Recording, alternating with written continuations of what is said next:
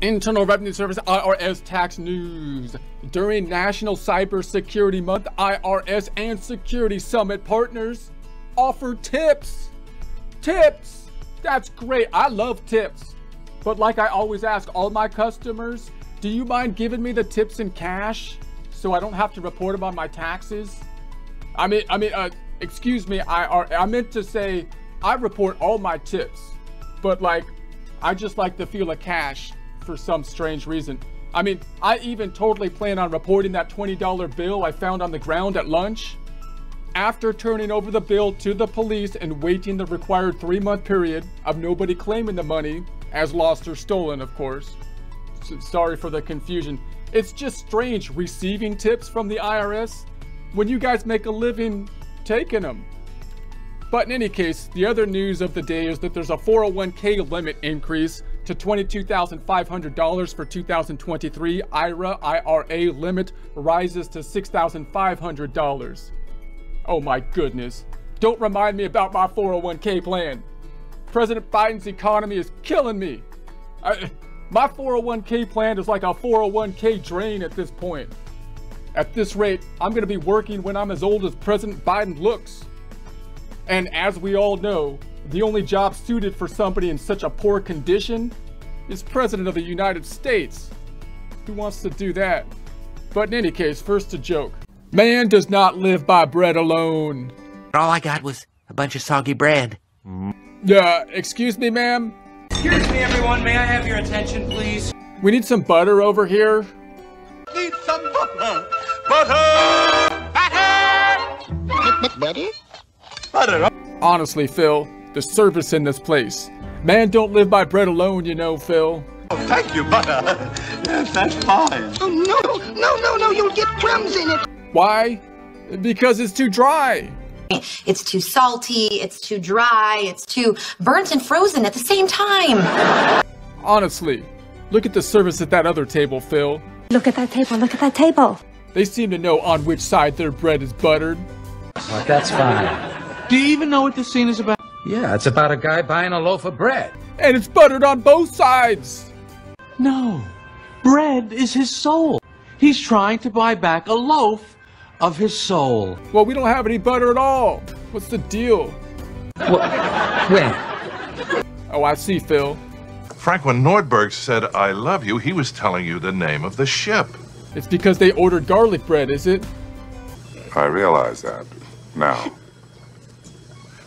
Well, we would like some of that garlic bread too. Hey, I want some of that. It'd be great not having to know on which side my bread was buttered. Because it was buttered on both sides? One with four foot. Cheap meat!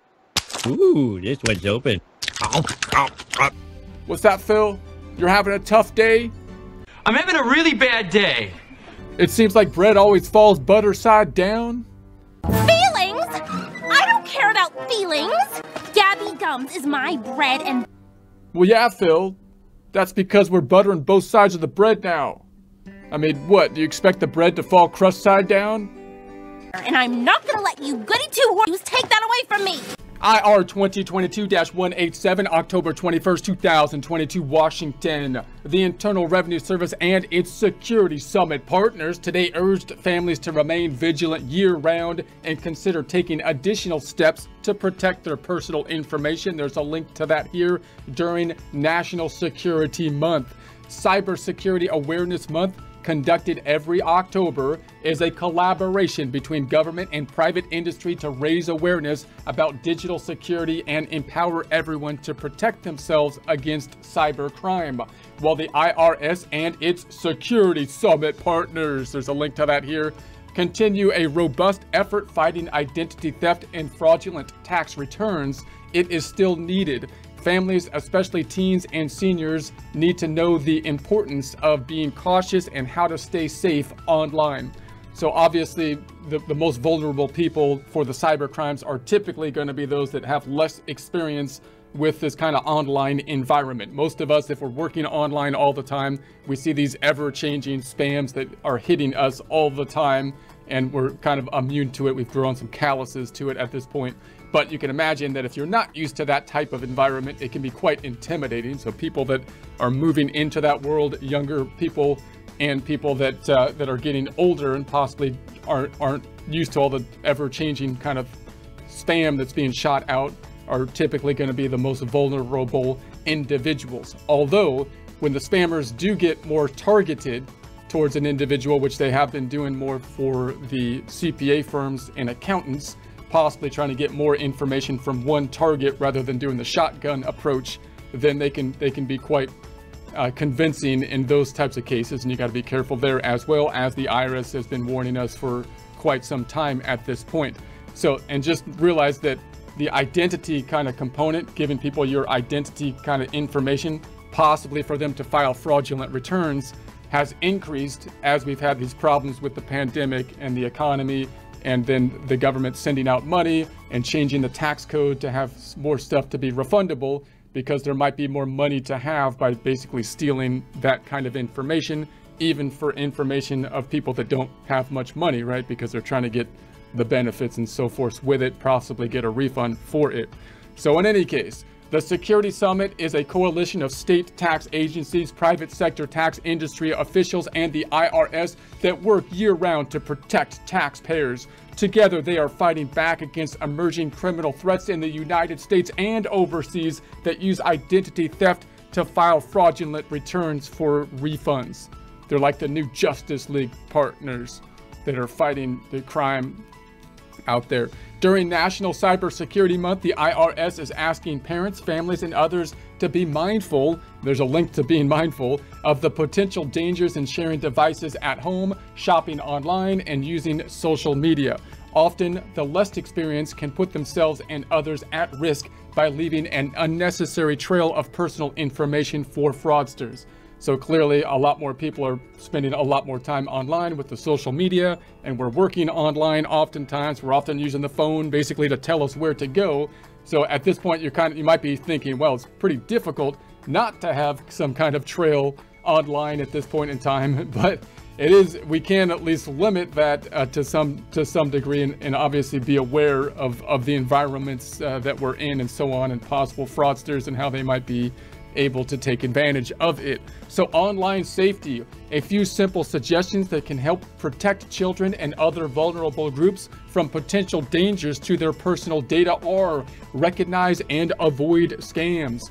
So clearly, again, most of the scams, if, if you've been in the environment for a long time, are pretty easy to recognize because they're not really designed to hit uh, and get a target of an experienced individual they're really targeted for people that are, are less experienced on the margins. They actually oftentimes don't want the experienced individual to follow through and call someone with a spam email or something like that because they're less likely to go through with whatever scam it is, such as giving them money with a, with a gift card or something like that. The ones that are likely to follow through with the whole scam are going to be the inexperienced ones having emails that are, are kind of kind of not sophisticated actually filters out the people that will will follow through with the scam.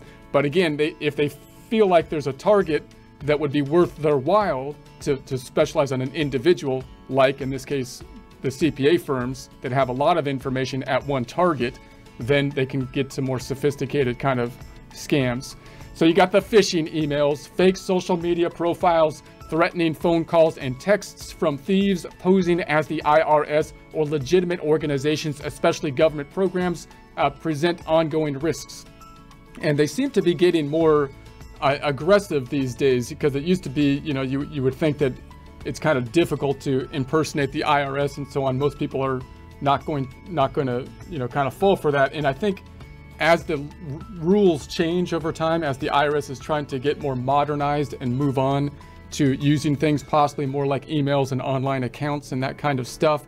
People have uh, less awareness on, on how the IRS works, and maybe that makes things a little bit more vulnerable. But usually there's going to be a threat. Usually there's going to be a time constraint type of thing uh, that's going to be involved with it. And usually they're going to be trying to get you to go and take action somewhere, possibly to another website or to download something that could be harmful to the computer or, you know, infect your computer. So Learn what a scam call sounds like. There's a link to that here. And do not click on links or download attachments from unsolicited suspicious emails. There's a link to that here from unknown senders and verify contact, content, context with trusted senders. So even if you're getting personal information, say from a trusted center, for example, you want to verify it with them to make sure that no one is like spoofing their email as they send it to you.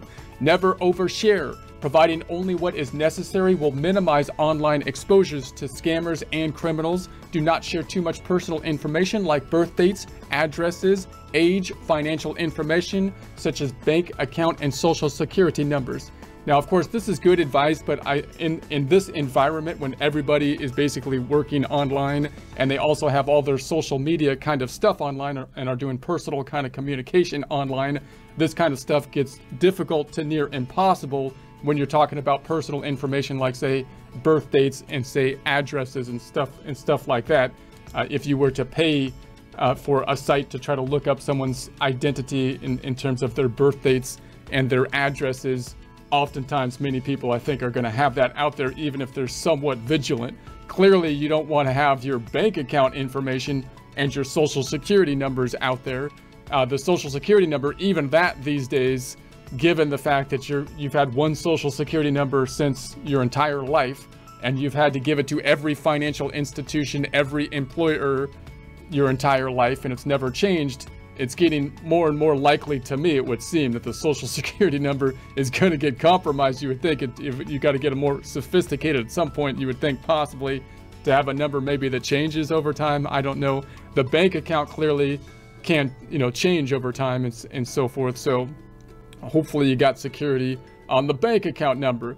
But obviously you don't want to share this stuff uh, just all, you know, on the social media and whatnot. Clearly not the social security and the bank account numbers, but I would expect just from normal transactions, things like a birthday and your address are going to be are going to be out there somewhere. But public Wi-Fi networks, uh, connection to Wi-Fi in a small or coffee in a mall or coffee shop is convenient, but it may not be safe. Cyber criminals can easily intercept personal information on public networks, uh, so always use a virtual private network when connecting to public Wi-Fi.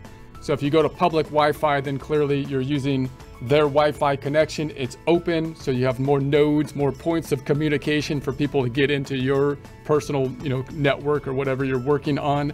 So you want to be careful working in those situations. And if you are working in those situations and using sensitive data in them, then you want to you want to look into a, a VPN, a virtual network, virtual private network, and make sure you have an understanding of how that works. Use security software and antivirus protection. Make sure electronic devices have security software that is always turned on and can automatically update. Encrypt sensitive files such as tax uh, records, stored on computers. Ensure all family members have comprehensive protection, especially if devices are being shared. Use strong, unique passwords for each account. Consider a password manager. Enable two-factor or multi-factor authentication. There's a link to that here for business, personal, and online accounts. Remember, the IRS does not use text messages or social media to discuss personal tax issues, such as those involving tax refunds or tax bills. For more information, visit Tax Scams and Consumer Alerts page on irs.gov. There's a link to that here. Additional information about tax scams is also available on IRS social media sites, including YouTube videos. There's a link to that here. Also see publication 4524, Security Awareness for Taxpayers. There's a link to that here. There'll be a link to all this stuff here, and there'll be a link to this in the description.